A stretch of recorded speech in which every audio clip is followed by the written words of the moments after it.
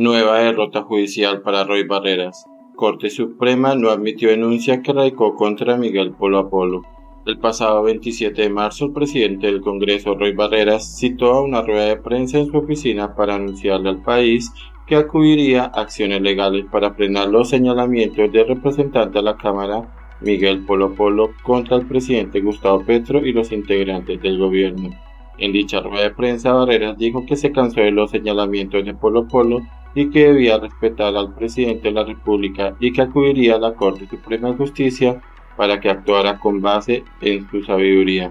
Este jueves 11 de mayo se pronunció la Corte Suprema de Justicia y tomó la decisión de inadmitir la denuncia suscrita por el senador Roy Leonardo Barreras Montenegro en contra del representante a la Cámara Miguel Abraham Polo Polo, conforme a la motivación expuesta en la parte considerativa de esta providencia dice el documento.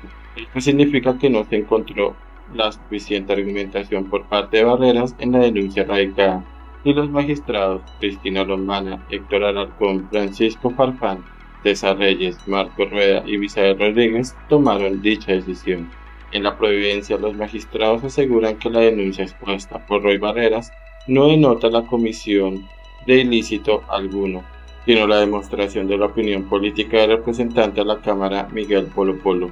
Como esta denuncia la radicó Barreras para defender al presidente Gustavo Petro, la Corte Suprema le da a entender al congresista que quien debió interponer la acción legal fue el mandatario y no él, porque no es el sujeto pasivo de la supuesta conducta punible.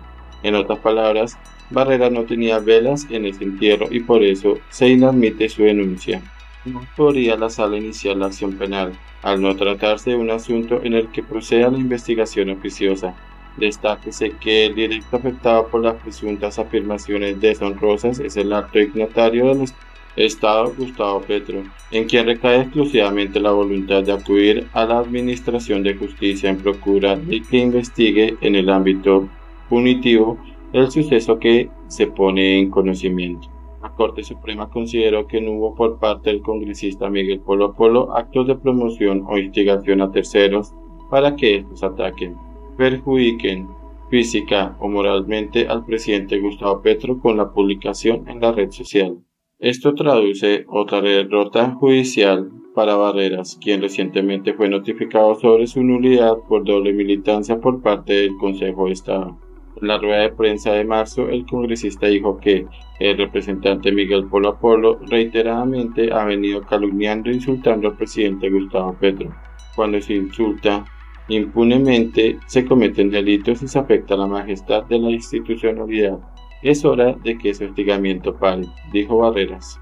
El senador del Pacto Histórico aseguró que una cosa es que la oposición critica a un gobierno y otra muy distinta hacer señalamientos falsos en contra del presidente Petro. Ya habíamos advertido ante la Corte Suprema que había un hostigamiento por parte de este representante contra el presidente a quien no baja de maleante o de guerrillero. El presidente merece que se le defienda jurídicamente, así que estoy presentando dos medidas jurídicas contra el representante Polo Apolo, reiteró Barreras. Sin embargo, aún falta por resolver una queja disciplinaria que presentó Barreras contra Polo Apolo por el hecho de usar su condición pública para insultar, calumniar y hostigar a la figura del jefe de Estado. El pasado 23 de marzo, Polo Polo puso un trino en el que señaló al presidente Petro por el viaje que haría a Caracas, Venezuela, para encontrarse con Nicolás Maduro. Esta es la cuarta visita que el guerrillero le hace al dictador Maduro. Venezuela atraviesa un desfalco de 3 mil millones de pesos en corrupción. Colombia le dará un respiro a la narcodictadura con negocios innecesarios comprando gas malo entre maleantes se entienden, dijo textualmente el representante de la Cámara. En febrero, el representante comparó el escenario de los hospitales públicos en varios municipios del país en los que no se cuenta con los mejores recursos y manifestó que si se aprueba la reforma a la salud, el sistema en el país será igual de negligente en todo el territorio nacional. Informes falsos del Ministerio de Minas, informes plagiados del Ministerio de Salud y fotos falsas del guerrillero para validar su reforma. Este gobierno está plagado de falsedades y mentiras.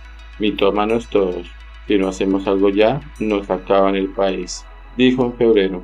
Miguel Polo Apolo ha sido uno de los más críticos desde la oposición con el presidente Gustavo Petro. pero según Barreras ya se cansaron de los señalamientos calumniosos que hace constantemente desde sus redes sociales.